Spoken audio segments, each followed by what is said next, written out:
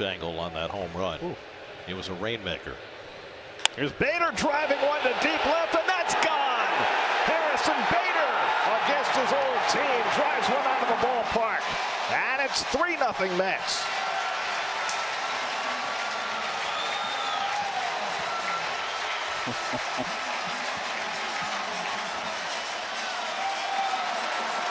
Harrison Bader's first time on this side of the rivalry, and he wastes no time. His fifth home run of the year.